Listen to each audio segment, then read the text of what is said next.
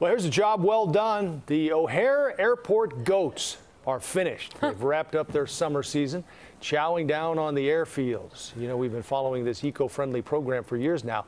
This is their ninth season, by the way. The herd of grazing animals help clear overgrown vegetation around the airfield, and then when it gets cooler, they head on out for warmer areas. But man, they do a, an important job. All right, give me the jokes. What?